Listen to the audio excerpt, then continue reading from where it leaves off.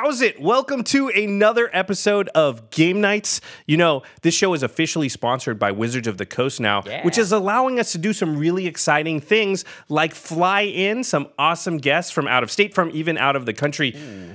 Our roster of future guests, I mean, I'm not, going to spoil it, but it's it's making me pretty stoked. It is pretty exciting. One of the main sponsors of the show as well is Card Kingdom. So make sure you use our affiliate link, cardkingdom.com slash command zone. The next time you are out to buy some magic cards, you're going to buy cards anyway. And we built four brand new commander decks for this episode.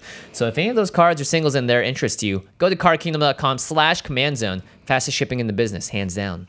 And the final way to support this show is to go to patreon.com slash command zone. You know, patrons get a little bit of a reward whenever possible. We allow them a sneak peek, a preview, if you will, of the Game Knights episode. So, patrons, I hope you're enjoying this episode for the second time, third time, maybe? Third time, yeah, fourth time, yeah. fifth time, sixth time? Wow, that's Josh, they're you big probably fans. watched this like a hundredth time, right? Oh, a thousand. One thing that's open to everyone, though, make sure you stay tuned to the end of the episode because we have awesome giveaways. We have a ton of product. And A lot. Reward you, the viewer. So make sure you stick around to the end of the episode to find out how you can win. All right, we'll see you guys on the other side. On to the game.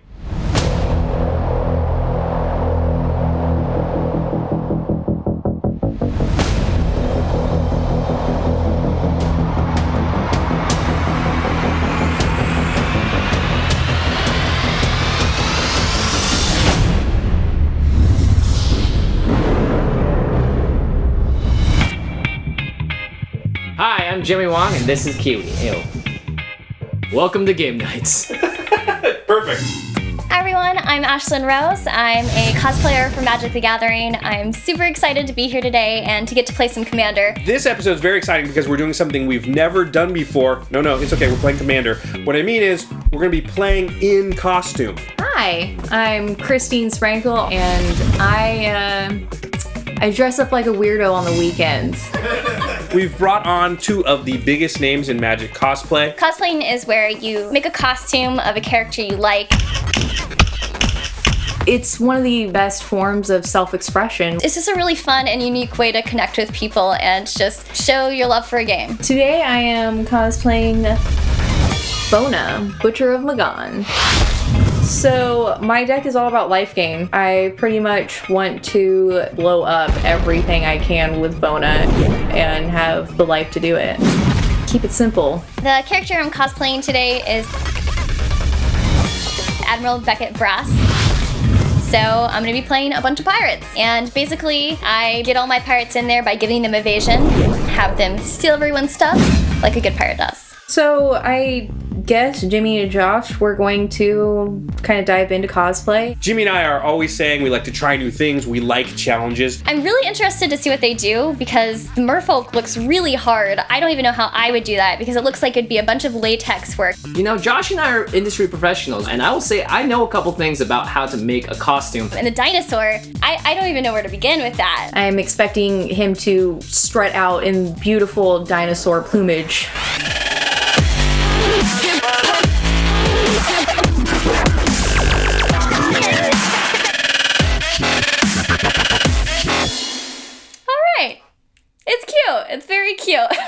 Amateurs. So if you couldn't tell by my costume, today I will be playing Gishath, Sun's Avatar. The strategy of the deck is I'm playing a ton of ramp spells, a lot of rampant growths and Kodama's reaches to get as much mana on the board as possible. And I'm really excited because I haven't really played that many tribal decks, but I do love attacking with creatures and beating face. So I'm going to be playing the Tishana Voice of Thunder deck. It's all about getting a lot of creatures onto the battlefield and then casting Tishana and drawing a bunch of cards. So it is a tribal deck. It's an elf tribal deck though. Because elves tap for mana and merfolk really don't. Listen, I know everybody wants it to be merfolk tribal, but Tishana doesn't say all your merfolk get plus one or anything. So Tishana doesn't care, so I don't see why you guys should care. All right, Kiwi, are you ready to dominate with some dinosaurs? Insert. Let's play. Good job, Kiwi. Good job, Kiwi. Okay, as is tradition, we must introduce you to the show. Sprankle, welcome to Game Knight. Consider yourself knighted. Ashley the Rose! Okay. Ashley Rose. the hat. There we we go. Yes, welcome to game night. Only one may stand. And it's gonna be me. Alright, I will play a Path of Ancestry tap. This is one of the new Commander 17 cards, and honestly, I can't think of a better first land you'd want to play in a tribal deck. I'm gonna play a Cavern of Souls, naming elves. What? While the rest of us are winning the flavor game, Josh is over there snorkeling when he's actually in the middle of a forest hanging out with elves. And then I will cast an elf, Boreal Druid. So this is exactly what I want my deck to be doing, playing a creature that creates mana on every turn possible so that I can cast Tishana early, but I also have a lot of creatures on the board, so this is the perfect start. I'm gonna take that off now. Hey, welcome Yeah, back. so I can see. I'm going to play a Reliquary Tower. I have no maximum hand size. And then play Expedition Map. Oh, these turn one plays. Yes. In Commander, you can have some of the most powerful lands ever made in Magic, so I'm feeling pretty good. Look at the tongue out concentration. I will play Path of Ancestry. Tap. Kids, don't do this at home. See how the card gets bent? No! Oh, LP. Magic cards. LP now. I will play Scalding Tarn. I'm gonna go ahead and sacrifice it and take one damage. I'm gonna find a Blood Crypt, pay two life because it's gonna come into play untapped. Boop, boop. And then I will use both of these to play Kitesail Freebooter. Because of Path of Ancestry, I will scry one, and I will target. Okay, just don't choose me. Don't choose me. Choose somebody else. I'll get to see their hand. This is gonna be great. Hmm. I really wasn't sure what Josh's deck was. Like, he had mentioned elves, even though he had a merfolk, so I knew there was gonna be some type of shenanigan, but I wasn't sure what. I think I'm gonna go with Josh. Uh, okay. So this is pretty bad. Okay, so I have to reveal my hand. Yes, your entire hand. So here's what my hand looks like, everybody. Non-creature, non-land. Yes. Ooh, Cryptolith Rite's really good. Cryptolith Rite looks a little threatening. I'm gonna go with Cryptolith Rite. So that gets exiled until that thing dies? Yes. When you keep a hand, you're counting on a certain sequence of plays, and the Cryptolith Rite was very key to that because with Imperious Perfect, I'm creating one ones that tap for mana. Everything was gonna be awesome, and now everything's horrible. Horrible. All right, I'm gonna take this off and uh, pass turn. Okay. I will play Imperious Perfect. So this card's very good in the deck. It's less good because Cryptolith Rite got taken from me, but at the same time, I want a lot of creatures on the board when I cast my general because I want to turn all those creatures into more cards in my hand. And then I'll pass the turn. I will play a Shambling Vent, and I will also pass my turn. Oh, oh and while he's doing that, I'll just. I'm going to play an Ancient Tomb. I'm gonna tap three, cast Rampaging Ferocidon. This creature does damage anytime a creature enters the battlefield to its controller. That punishes me for every creature that hits the board. That is going to be super annoying. And it also says players can't gain life. So the whole point of my deck is to gain life. And Jimmy was like, how about no? I'm gonna take two damage from the Ancient Tomb, and I will also trigger Path of Ancestry, so I'm going to scry one. Then I will pass turn. All right, I will play a Chromatic Lantern Ooh, Nice. great card. and pass turn. I'll tap three. I'll play a Chasm Skulker. One of the problems with the deck is you're just really overextended into board wipes, and Chasm Skulker is a way for if you get board wiped, you still have a bunch of creatures left over at the end of it. Uh, Rampaging Ferocidon will trigger and roar, deal one damage to you. Uh, okay. And then I will pass the turn. I will tap two and play Thought Vessel. You know, reiterate the fact that I have no maximum. You really have no I maximum really, hands, really yeah. don't like have double maximum no maximum hand size. and pass the turn. I'm gonna tap four, taking two damage for Ancient Tomb, and play Vedalken Orrery. This is one of my favorite cards in all of Magic the Gathering. I basically get to draw a card, pass turn for the rest of the game, and choose when I take my turn and use my mana. Then I'll go to combat. Christine, I will swing at you with the Rampaging Ferocidon for three damage. It's rude. Real rude. Dinosaur's got a dino, and I will pass the turn. Okay, I'll play as Steam Vents and shock myself, and then I will play Marchesa, the Black Rose. Yay! Uh, because of Path of Ancestry, I will scry one. Her deck is all about attacking, and she's really weak to something like a board wipe. But if you have Marchesa on the board, then that means that you're gonna be really, really immune to people taking out your creatures. Because all of a sudden, they're gonna come back from the graveyard. Rampaging Ferocidon will trigger and roar! Ah, Take a damage. Josh is on the throne, so and I'll swing at Josh. It'll trigger dethrone, which will put a one-one counter on it. So I take two it's flyer. I have nothing that can block fire. I'm not trying to pick on him or anything, but I gotta get the counter, so. I mean, you already took a card from me. You know, you can spread the love a little. Hit some. I know I'm on the throne, but come on, that's only one additional damage. Okay, and then at the end of your turn, I will tap Imperious Perfect, make an Elf Warrior creature token. And when that enters, it'll trigger Rampaging Ferocitodon. Ferocitodon. And I'll take one damage. Okay, then I'll untap, draw a card, which will trigger Chasm Skulker. That will put a 1 1 counter on it. Then I will play From Beyond, Oh man. which is gonna hurt with that Ferocitodon, but what can you do? You gotta play your deck. Listen, I just have to continue with my game plan and hope that at some point in the future I can get rid of that dinosaur. And then I will pass turn. At the end of your turn, I will crack my expedition map and search for Urborg, Tomb of Yawgmoth, That was a good card. and I will put that in my hand. All right, so my turn. Yep, I will play Urborg, big surprise. and I will play Serra's Ascendant. Oh, oh. my gosh. It, it's a one casting 6 6 flyer. You can't beat that. But he's just not at his full potential. Thankfully, Jimmy's dinosaur makes it where it can't gain the life. So it's not quite as good as it could be. Doesn't even make sense. How is this dinosaur preventing life gain? What is, what kind of mystical powers does a dinosaur have? Take one from Rampaging Ferocitodon. And then I will play Underworld Connections ah. and put it on my Reliquary Tower. Card advantage is good. Honestly, I'm not that worried about Sprankle because she hasn't really looked in my direction. I'm more worried that Ashlen's picking on me. And I will pass turn. All right. I'm going to untap. Oh, wow. Nice. Yeah, I'm using uh, his my, my his Oh, arm. you got his- strategy now. Practice makes perfect, as they say. Then I will play a Temple Garden, untapped, take two damage, and because I have a Vedalken Orrery, I can do whatever I want whenever I want. I'll pass turn. All right. I'll attack Josh again, triggering Dethrone again. So I get another counter. I take three. Yay. One, two, three. No longer on the throne though. Woohoo! I guess. And then I will play a Steel Hellkite. That's so good against Josh and all his tokens. You know, when someone's picking on you, there's things that you don't want them to do. And play Steel Hellkite is at the top of that list. Rampaging Ferocitodon roars, and you take a damage. Ah, yes. All right. Pass turn. Okay. On upkeep, From Beyond will trigger, and I will make an Eldrazi Scion. And that will trigger the Raging Ferocitodon. I take one. Yep.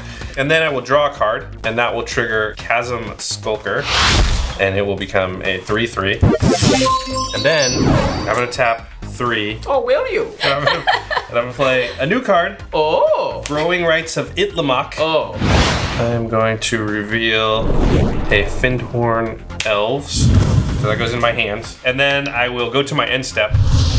And because I have five creatures, I only need four, I will transform the Growing Rites of Itlimoc into Itlimoc Cradle of the Sun. This is terrifying, by the way, because I don't have any way of dealing with it. No one has any way of dealing with it. Josh is going to be able to pump out a ton of mana. Okay. At the end of your turn, I will use my secret underworld connections and lose one life and draw a card. And then untap, play Cabal Coffers. Christine has Urborg and Cabal Coffers out, which is one of the best ways to ramp in black really quickly. Life is sweet. It's very sweet. Tap two for Cabal Coffers. That will make five black and Shambling Vents for one white. And bring out Vona. She has arrived. This worries me because she can blow up my Hellkite. Luckily, I'm pretty sure I know what her first target is. So now I have an answer to that filthy dinosaur. Vengeance will soon be mine. Just gotta wait. Just gotta be patient. It's coming. Rampaging Ferocitodon will trigger and do one damage to you. Oh. Rampaging Ferocitodon is doing a lot of work, but at the same time, it's also making everyone hate me. Oh, Jimmy, man, I don't hate you. I just hate the rampaging Ferocitodon. Yeah, I hate the card, not the player, but you're I- still attacking the player. I well, I mean, if I don't have you know creature removal, I have to try and do player removal. Isn't, Oh, isn't that something Mel said once? Yeah, it's true. You know, why not instead find an answer to the card by doing something like going to cardkingdom.com slash command zone. Card Kingdom is one of the sponsors of the show. And if you're going to buy magic products, sealed product, or singles, tables, they are the absolute number one place to do it. And you know our other sponsor, Ultra Pro, they are making awesome Eclipse sleeves. They make all the Ixalan theme stuff, so like the playmats and the sleeves we used in this episode. They have gravity dice. I would suggest going to cardgame.com slash command zone and ordering Ultra Pro stuff. Then you're double dipping. That's what we call value. That is really helping to keep the lights on here at game nights. In fact, Wait, what are you doing?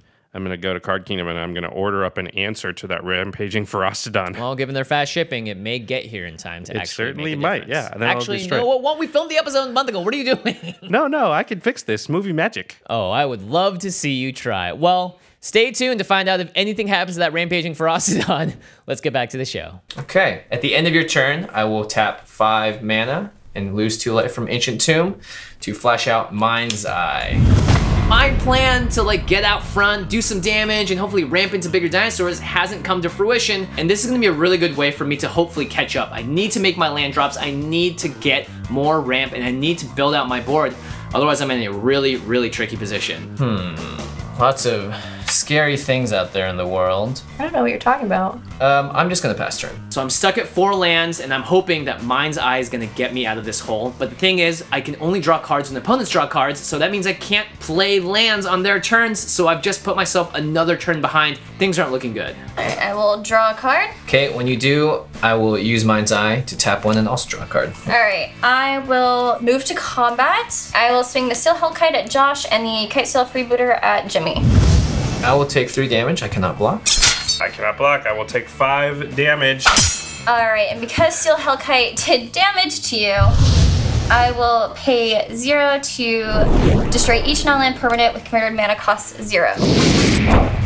Josh has this land and a bunch of creatures on the board, so I just decided to help alleviate the problem of him having a bunch of mana. It's not the best. It's not the worst. I lose two things. I'm going to be able to immediately replace them. So And then I will play a Phyrexian Metamorph, copying my Steel Hellkite. Oh no. Oh, amazing. Okay. This is pretty bad. I don't have any flyers. I don't have any protection from flyers in my hand or on the board. She can just kind of, for fun, blow up everything I have. All right, you take a damage from Rampaging Ferocodon. And then I will pay two to play a Daring Saboteur. And because it's a human pirate, I will scry one. And you'll also take a damage from the Rampaging Ferocodon. yeah. And then pass turn. All right, on your end step, I will activate Imperious Perfect, make an Elf Warrior creature token. Then I will activate Oran-Rief the Vastwood to put a 1-1 counter on it. Take a damage. I will take my one damage, and then I will untap. And on my upkeep, From Beyond will trigger. I will make an Eldrazi Scion. Take a damage.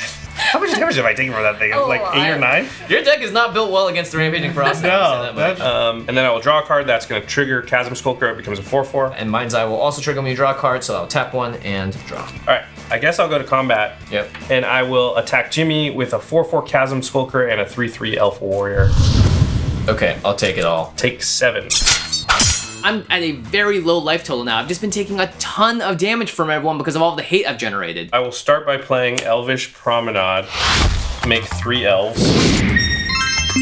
And I will take three damage from the what's it called again? Rampaging Ferocodon. From that jerk. Don't forget it. Then I will tap the Itlimoc, Cradle of the Sun. So I have eight green mana floating. With one green mana, I will play Findhorn Elves. I'll take a damage for Raging Ferocitodon. So I have seven green mana floating. I'll add a blue to it and play Tishana, Oh no. Voice of Thunder.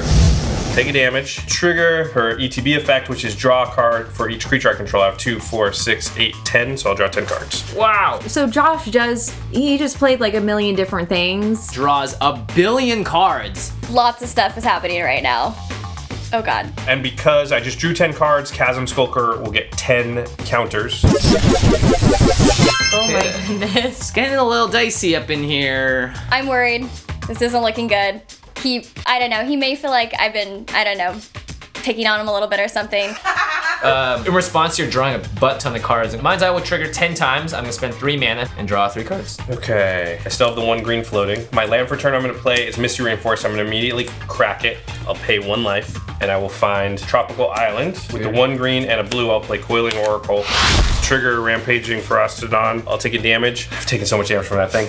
Uh, I will reveal the top card of my library. It's an Elvish Mystic, so I'll put that card into my hand, and then I will pass the turn. All this is great. It looks great. However, there are two steel Hellkites on the table, and there's a really good chance that like 80% of my stuff is gone by the time my turn gets back to me. So I would- I would be more excited, but it it doesn't feel like it's going to matter. And at the end of your turn, I will use my Underworld Connections again, draw a card, and lose a life. And then I play Isolated Chapel and activate Cabal Coffers and play Revel in Riches. I love winning commander games in horrible, tricky ways that you don't even actually kill anybody. Revel in Riches is really interesting because Ashlen can't actually use the steel Hellkites against all my stuff because that'll turn into treasure for Sprankle. And if Sprankle has 10 treasure, she wins the game. So it kind of weirdly protects me from the Hellkites a little bit. Uh, it's weird, but I like it. And then I will play Drana's Emissary. Take one because of that filthy dinosaur. That dinosaur is filthy. True. It's out of control. You're gonna kill it now, right? So yes, that's exactly what I'm going to do. Go to combat, mm-hmm. and I'm going to swing both my creatures at Jimmy. The four blocks, I'm going to activate Vona to destroy this rampaging dinosaur. Finally. And because your creature dies, Revel in Riches triggers, and I get a treasure. This is awesome. She gets rid of the dinosaur. She protects me from the Hellkites. I mean, I'd give her a hug, but those eyes are really scary. And uh, I pay seven life. Okay, uh, I will take five and go to 15. And because of lifelink, I'll gain five life. I also have four commander damage from Vona. I don't think that will matter. I do believe the fun is done, so your turn. I am in just the worst position. Oh gosh. Oh gosh. Even if I do board wipe and kill all creatures, well, guess what? Christine just wins because of Revel in Riches. So I'm stuck between a rock and a hard place, or just two dinosaurs, or in this case, a Vona, a Steel Hellkite, and a Giant Tishana. Um, I'm just gonna pass turn. Okay. Draw a card. Okay, when you draw a card, Mind's Eye will trigger, and I will tap one to draw the card. Okay. Hmm. This is where it gets tough. I don't really have quite enough for lethal on Josh, so I just gotta deal with Vona and everything over on Sprankle's side, and then we'll come back to Josh. All right, I'm gonna swing the two Hellkites at Sprankle. I will block with Drana's Emissary. So, Drana's emissary dies. One gets through, so I take five. And because Steel Hellkite did damage to you, I'll tap five to blow up everything you have that costs five mana. Rude. Wow. Bye bye. I don't know what I did. I don't know what I did to deserve this. Hard to have a lot of sympathy for a vampire, honestly. I will uh, pass turn. All right, I will untap. From Beyond will trigger. I will make an Eldrazi Scion. I will not take a damage. Feels so good. Then I will draw a card, which will trigger Chasm Skulker, which now becomes a 15-15 creature. Okay, what's everybody at? 15, 18, 31, 25. I can take out either Sprankle or Jimmy. I don't have quite enough to take out Ashlen. I will go to combat. Okay. Here's how we're gonna do it. Ashlen, all this stuff's coming at you. Oh boy. Jimmy, No. Oh, man. Unfortunately, I'm in the weakest position at the table. I have no blockers. I'm really imposing no threat to anyone. Josh, no! My co-host! My ally! No! These cute dinosaurs! Don't do it! Hi, my name is Jimmy Durnan. Wong Durnan. Durnan Durnan. Okay, I will block Imperious Perfect with Marchesa and the Self with my Freebooter. Okay, and then you take 10. I can probably deal with that much damage right now. I'm at a pretty comfortable life total, so I'm not too worried about that. And then I'm gonna play Spontaneous Generation, which gives me a Saproling for every card in my hand. I have 10. Oh my gosh. Then I will cast Joraga Treespeaker, which means I have 10, 11, 12, 13, 14, 15, 16, 17, 18, 19, 20 creatures on board. At this point, it doesn't seem like there's any reason not to just play out everything I can. Tap the Cradle for 20 green mana. So again, a bunch of stuff happens. Then I will play an Elvish Archdruid, Argothian Elder, Jolrael, Empress of Beasts, A lot more stuff comes out again. Yay, just more stuff keeps coming out. Elvish Mystic, Wood Elves, Oracle of Mul Daya. I'll reveal reveal the top card of my library. And then I will tap Oran-Rief the Vastwood, and I'll put a Oh plus one my plus one counter on all of the green creatures that enter the battlefield this turn. Josh doing Josh things over here. And then while I figure out the dice situation to grow all these guys, I'll, I'll go ahead and pass turn. At the end of your turn, though, I will again use my Underworld connections, draw a card, and lose a life. And then I activate Cabal Coffers and cast Sword of Feast and Famine. And I'm going to equip it. Okay, this is pretty bad actually because I can't block the Serra now because I have protection from green and all I have is green creatures. And then I will Underworld Connections, draw a card, Lose life. lose a life. And I will play Staff of Domination. So I pretty much need to get Josh dead or down enough to where Ashlen can swing in with Hellkites. I don't know. I will swing at Josh for three. So I will take three. One, two, three. This is great. He's now at a point where I can swing in on my turn and hit him for lethal, so I'm feeling pretty good about this play right now. That'll trigger Sword of Feast and Famine, so I have to discard a card. I'll discard Thought Vessel. And because of lifelink, I'll gain three. And I will untap all of my lands. All right, I can untap Underworld Connections and hopefully draw something, anything, to just keep me alive just just for a little longer. I'm going to Underworld Connections again, mm-hmm. lose a life, draw a card. And I mean, I do something okay. All right, we're gonna have a party here. Huh? Oh boy. Vampire party? So I'm going to tap out and sacrifice my treasure. And Ruh-roh. I'm going to play Oh, Debt of the Deathless. X is equal to 8. Oh. I gain 32 and everybody takes 16. Oh my gosh, I can't believe what just happened. that just kills me. Sorry. Not sorry. Okay, I take 16, which leaves me at negative one. I don't even know how to act out. I'll pay you next month. I pro. Oh. like, how do you act out dying to the a debt? Did I take 16? You're gonna be at five? Oh my goodness. I'm now sitting pretty at 54 life. Pass the turn. This is really interesting because we've seen these situations before and it can go either way where you're at a high life total but no board, but your opponent's at like single digit life. All right, I will go ahead and just turn everything sideways. Wow. They Alpha. all get dethrone triggers. Wow. Yeah, so that's gonna be 23. Okay, go down to 31. Getting there.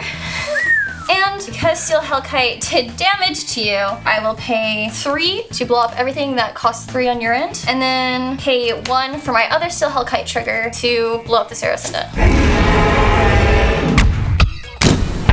So because I dealt damage to you, Daring Saboteur will draw me a card if I want. And then so I will discard my Wonder. And because it's in my graveyard, everyone gains flying. Seems good. and then I will also play Deadeye Tracker and Dowsing Dagger. And when it comes into play, I will give you two zero two plant tokens. Thanks. You're welcome. I'm not really worried about giving her the two defenders because now all my stuff has flying, so I'll just get over them anyway. I will pass turn. So Ashlen's at five. Can we can we do this? I'm going to use Cabal Coffers and tap out to create 12 mana. And I will play Tithe Drinker. I have 10 mana left. Okay, that has extort. That's that's bad. Then I'm going to play Pristine Talisman. I will extort. So Ashlen loses one, you gain one. I am very worried right now. I'm I'm not sure what's gonna happen. I have six mana left. Then I will play Land Tax. I pay extort again. Ooh, it's gosh. good. Can we get there? This is not looking good. And then I play Burnished Hart. I extort again. Oh. oh gosh. Now I'm down to two. And that's all I can do. And then I ran out of mana. That's fine. I wasn't worried. I knew. so, what I'm gonna do is I will bring out myself for the final battle. Oh, she's here. Admiral Beckett Brass. Because of Path of Ancestry, I will scry one, and then I will play Captain Lannery Storm, who has haste. Oh my goodness. They all have flying. Is Yeah, they all Yes. the problem. And they're all gonna get dethroned. Yes. All right, we're gonna turn them all except myself sideways. I like to oversee things. Your, your management. Yeah. Yes, Yeah. absolutely. Yeah. Dethrone will trigger. How do vampires die on the plane of Ixalan? I wouldn't know since I'm still alive.